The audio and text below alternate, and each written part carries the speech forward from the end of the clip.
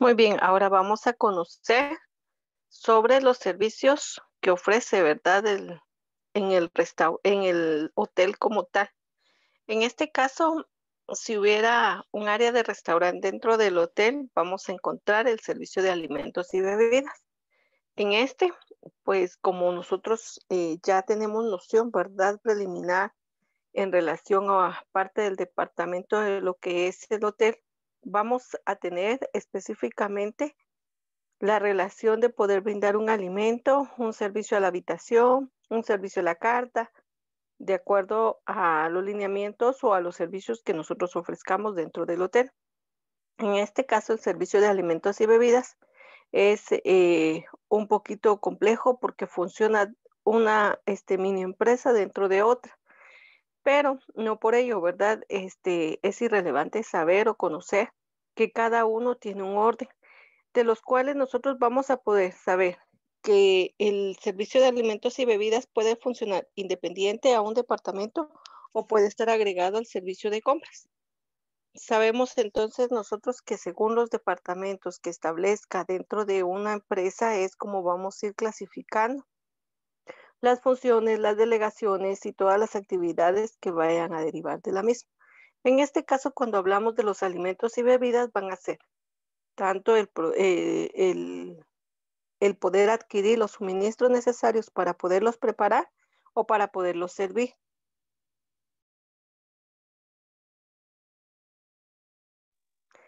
Es por ello que nosotros acá eh, vamos a leer donde dice las actividades incluyen transferir productos de alimentos y bebidas del personal del producto al personal del servicio.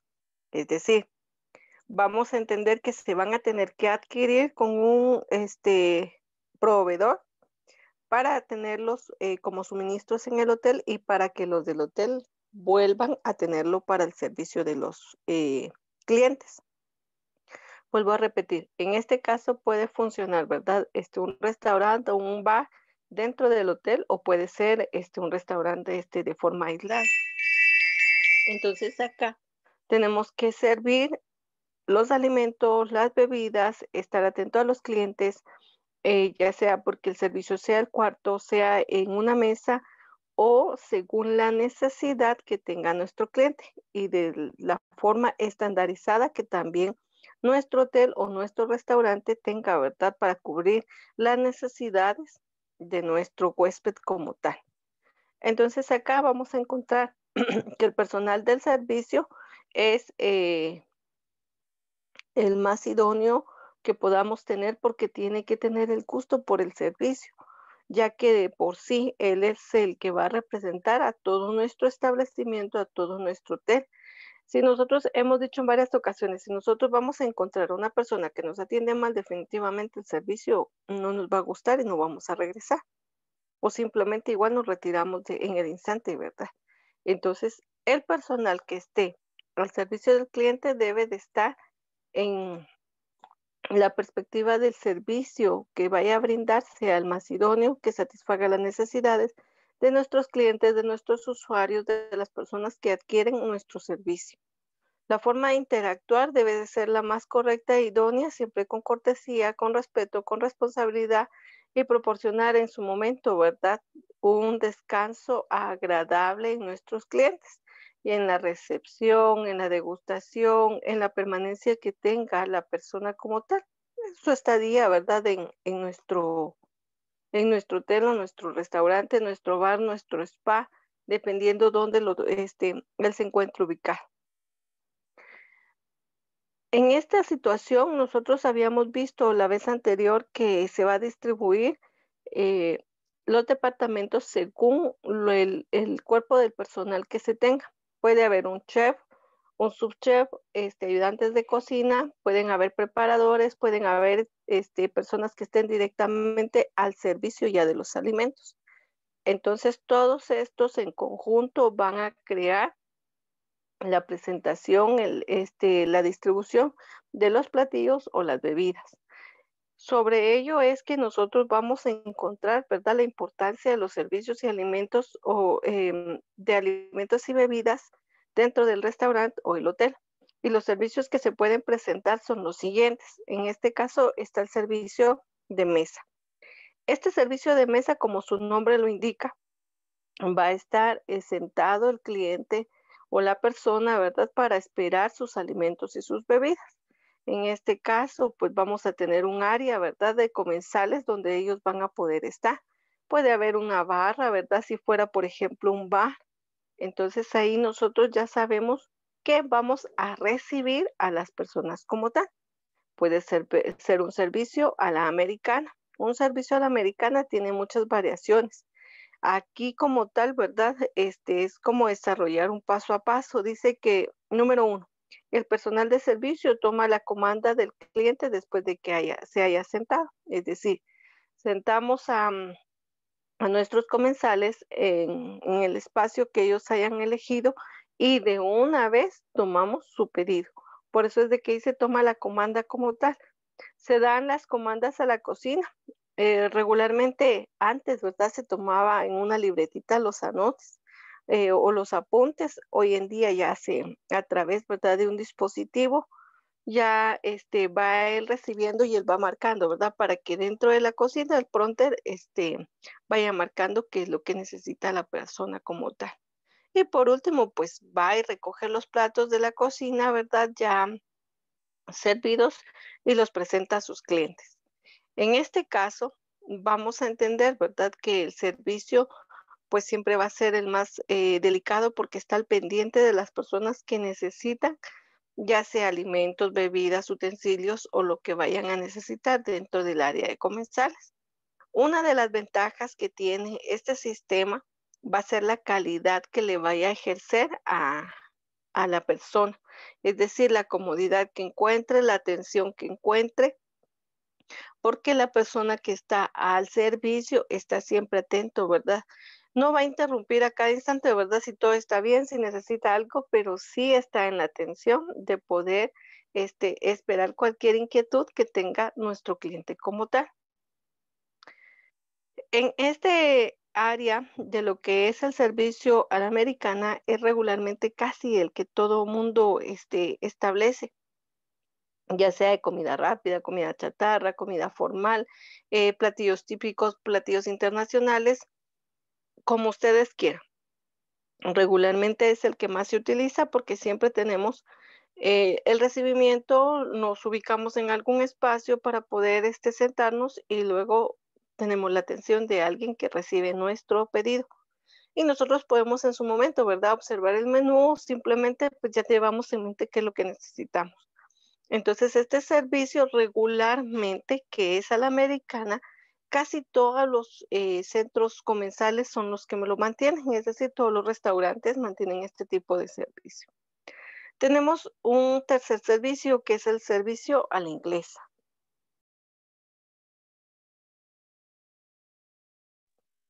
Este servicio a la inglesa o familiar es para muchos clientes, como comer en casa, ya que las cantidades de alimentos se ponen en bandejas en la mesa desde las que se sirven los comensales en cantidades que ellos deseen.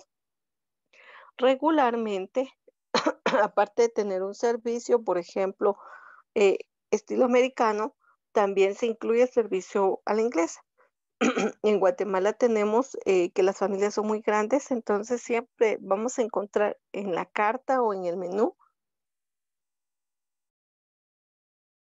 algunos platillos que se sirven, a veces le llaman combos, ¿verdad? Combo familiares, en donde le agregan grandes cantidades o proporciones según los alimentos que, que se sirvan en el lugar por el mismo fin, ¿verdad? Que ya no es, es más ventajoso en su momento comprar por mayor que comprar por menor o comprar eh, por, por platillo individual. Entonces, esta ventaja favorece al cliente y favorece en su momento hasta la persona, ¿verdad?, que va a atender, porque entonces ya ahí automáticamente se sirven las cantidades de alimentos y ya son las personas de manera individual que se están sirviendo dentro de su mesa y como acá lo indica, ¿verdad? Se sirven según lo que ellos vayan a consumir. No es como cuando se le regresan un platillo, ¿verdad? Porque no les gustó, porque no está bien, porque le hizo falta alguna situación. Aquí es más fácil todavía, porque son ellos los que pueden este, servirse como tal. Está el otro servicio que es a la francesa. El servicio a la francesa se utiliza en aquellos restaurantes que quieren lograr una atmósfera sofisticada y elegante, siendo normalmente establecimientos de un alto nivel en precios. Eh, recordemos que entre mejor calidad tenga el producto que nosotros vendemos, pues mayor costo va a tener. Entre mejor comodidad tenga, pues mayor este, va a ser el costo que vaya eh, a tener el servicio, los alimentos, la ubicación en su momento, la vista que pueda tener, la temática de, del lugar. Entonces el servicio a la, francesa como tal dice que es algo más sofisticado y elegante. Y sobre eso se va a destacar. Entonces una de las características del servicio a la francesa eh, son los artículos que son preparados parcial o totalmente para la, este, en este caso, al lado de la, de la mesa del cliente. Puede que los alimentos sean llevados a la mesa para preparación o en un carrito. Algunos de estos alimentos eh, en su momento tienen también la característica de ser frescos por el tipo de cocina que se establece. Entonces, en su momento eh, vamos a encontrar que ellos son los productores de estos alimentos y ese es el costo que nosotros a veces pagamos. Cuando nosotros hablamos, por ejemplo, de la cocción o la preparación de algún alimento eh, que sea vistoso para el comensal, eh, se refiere, por ejemplo, que podamos observar cómo va a flamear, cómo va a generar algún tipo de comida eh, a la vista de la persona, pero no quiera decir que va a preparar todo, ¿verdad? Sino simplemente es un aspecto relevante para que la persona se sienta como que cómoda, ¿verdad? De la atención que va a recibir. Entonces, eso es lo que se habla del servicio a la francesa. Regularmente hemos visto, ¿verdad? En algunas ocasiones en videos en películas, en series, que se acerca, ¿verdad? La persona con su carrito y este, un pastel o una comida que necesite, ¿verdad? Ser eh, estilo flameado, pues ahí mismo, ¿verdad? Se lo preparan y se lo sirven para que ella pueda ver cómo se desarrolla ese proceso. Pero no es la preparación en sí de todo el platillo o todo el menú, sino simplemente algún aspecto que pueda llevar eh, incluido, ¿verdad?, el alimento como tal. Cuando nosotros hablamos de costos, les decía que son los costos más elevados porque regularmente son eh, ingredientes, alimentos elegidos.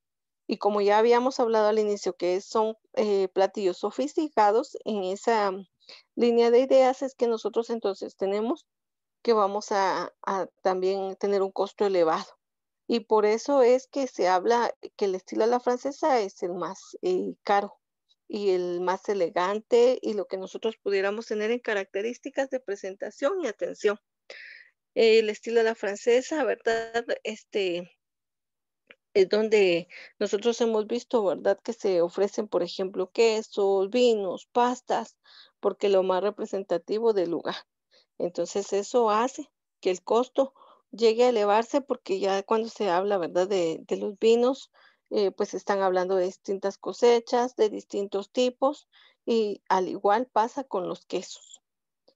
Tenemos otro servicio que es el servicio a la rusa. En este caso, este servicio dice que se da en bandejas, que es otro estilo básico. En este caso es utilizado en los banquetes. Cuando se ofrece este servicio, los empleados de producción preparan y proporcionan los alimentos en la cocina. Posteriormente los disponen de manera atractiva en las bandejas de servicio. Tiene en su momento una relación estilo buffet, ¿verdad? Se colocan en mesas en donde van los comensales y se sirven, ¿verdad? Pero todo es de manera atractiva, ordenada, elegante, ¿verdad? En este caso, también hay personas que están al servicio cerca de las mesas, ¿verdad? Para que le puedan, este, en este caso, ayudarle a servir, si usted así lo desea. Y si no, de lo contrario, pues usted se sirve, ¿verdad? Conforme lo que usted necesite. La diferencia que tenemos como tal del buffet es que ahí sí no va a haber nadie que lo auxilie. Usted toma su plato y va y se sirve lo que usted necesite como tal. Mientras que en este, pues si va a haber una persona que lo pueda auxiliar o que le ayude a servir o a transportar su plato del lugar donde se encuentra hacia la mesa como tal. Entonces, por eso es de que hablamos de bandejas, ¿verdad? Porque ya no estamos hablando nosotros directamente de un plato, sino estamos hablando de varios, porque en este caso, ¿verdad? Según los alimentos que usted quiera consumir, son las bandejas o los platillos que usted va a utilizar. Esto es lo que caracteriza al servicio ruso. El servicio buffet. En los establecimientos que ofrecen estilo buffet, los alimentos son dispuestos en mesas o mostradores y los clientes se van sirviendo según lo que deseen consumir.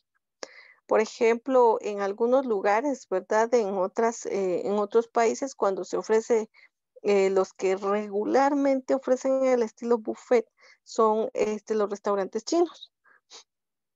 Y entonces ahí le ponen a usted diversas bandejas y usted se sirve, algunos dicen, este, coma, lo que vaya a consumir, es decir, lo que quiera. Eso sí, le hacen la aclaración que lo que sobre o deje se lo van a cobrar. Entonces, el fin es que usted, o sea, consuma lo que usted quiera, sí, pero que no deje ningún residuo en, el plato, porque entonces eso que se desecha, o sea, es una pérdida. Y entonces ahí es donde le dice claramente, pero sí, que no sobre nada porque lo que sobre, o sea, tiene un costo extra de lo que usted ya pagó como tal. Eh, normalmente los buffets son utilizados cuando los establecimientos tienen que dar servicio a un gran número de clientes. Entonces no hay tiempo, ¿verdad? Como para servir platillo por platillo. En este caso, cada quien va a ir y se sirve lo que necesite o desee consumir. La diversidad de los alimentos que puedan haber, ¿verdad? Va a oscilar entre el área de carnes, el área de ensaladas, el área de alimentos o guarniciones calientes, frías, postres y bebidas. Y ya luego, si usted quiere acompañar, por ejemplo, con un panecillo, una tortilla, etcétera, ¿verdad? Ahí hay este para que usted pueda elegir. Entonces, vamos al hecho de que en algunas ciudades, pues son exageradamente los comensales que visitan estos lugares. Entonces, es más fácil de dejar 100 platos ahí que los, este, cada uno pague de una vez por su servicio y que consuma lo que considere. Producir a gran escala también genera este, costos mínimos porque entonces eh, se, eh, se, consume, eh, es decir, desde el distribuidor, pues deja este, precios especiales porque se está adquiriendo productos o materia prima, ¿verdad? A gran escala. Entonces es fácil, o sea, producir a gran escala porque se sabe que se va a adquirir un solo precio por, por el producto y este es el estilo buffet. Luego tenemos el servicio de cafetería. En la mayoría de, las cafeterías, los clientes avanzan a través de líneas de servicio seleccionado.